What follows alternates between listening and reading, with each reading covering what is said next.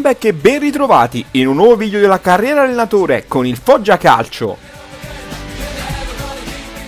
Inizio questo video con il ringraziarvi perché siete sempre in tantissimi a seguire questa serie e a commentare. È un momento difficile per YouTube perché non a tutti gli iscritti arrivano le notifiche dei video quindi io vi ringrazio a tutti voi che comunque siete sempre presenti in ogni episodio e se potete, se volete, condividete questo video con tutti i vostri amici.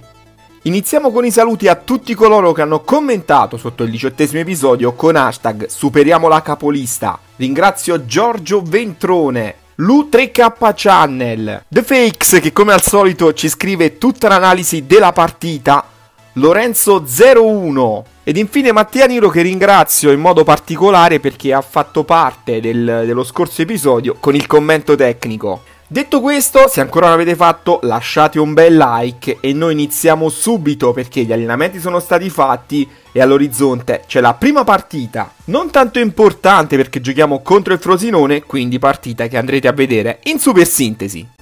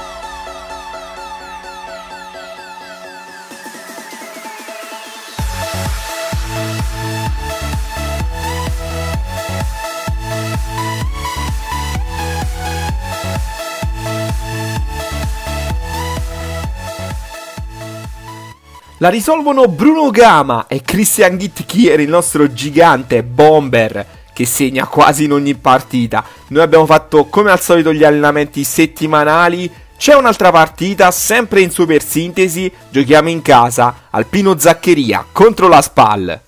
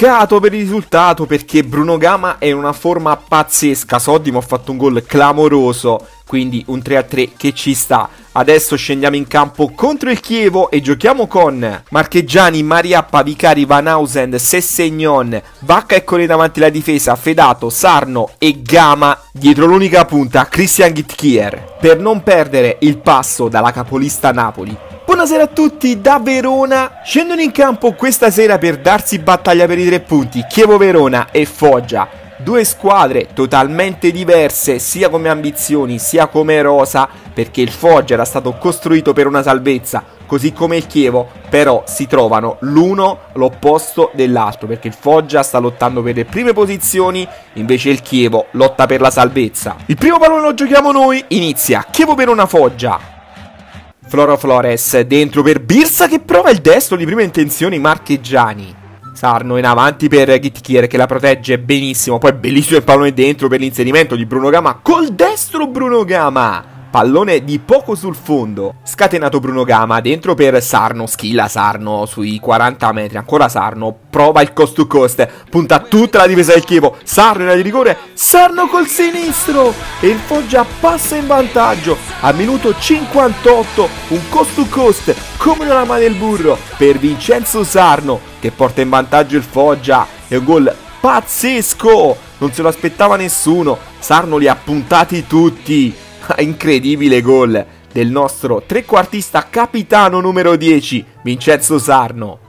Ci appoggiamo sempre alla punta Gitkier che fa girare palla per Soddimo, pallone di ritorno per Gitkier col destro, palo clamoroso e poi spazza il Chievo. Isako per eh, Sarno, tacco clamoroso per Koulibaly, messo il pallone dentro, attenzione sulla ribattuta con e ancora per Gitkier che prova il colpo di testa al volo. Ultima opportunità per il Chievo, 93 sul cronometro, ballone buttato dentro. Attenzione alla rovesciata e Marcheggiani con calma. Con calma Marcheggiani congela questo pallone. Forse era l'ultima azione di questa partita. E infatti è così, l'arbitro fischia tre volte, sono tre punti fondamentali per il Foggia. Per rimanere agganciato alla vetta. Andiamo avanti con i giorni perché all'orizzonte c'è la partita contro il Genoa. Questa volta giochiamo in casa e andiamo a vedere come si schiera la squadra di Wammata.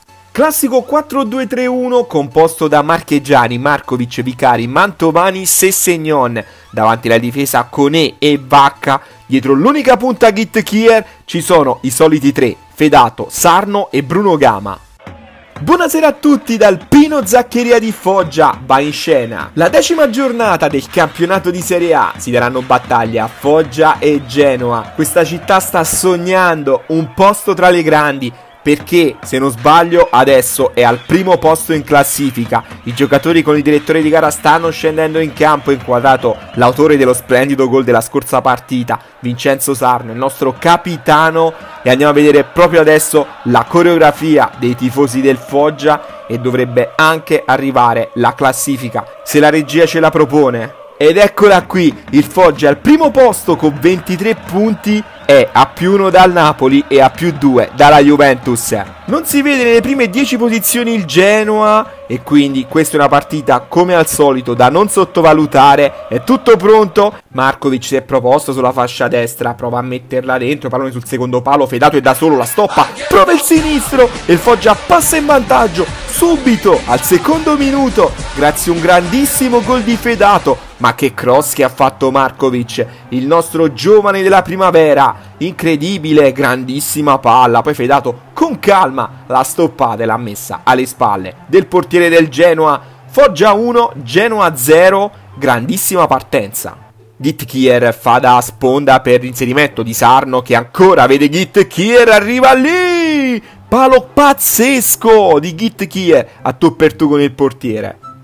Vacca dentro il pallone per Bruno Gama che vede l'inserimento di Sarno che con la punta la mette dentro al 34esimo Vincenzo Sarno. Secondo gol consecutivo per lui è uno stato di grazia il nostro capitano che poi va ad esultare con tutti i suoi compagni impazzisce di gioia il Pino Zaccheria grandissima palla e grandissimo colpo di punta di Vincenzo Sarno Ancora lui scatenato, pallone dentro, splendido per Bruno Gama! Zima! Che parata!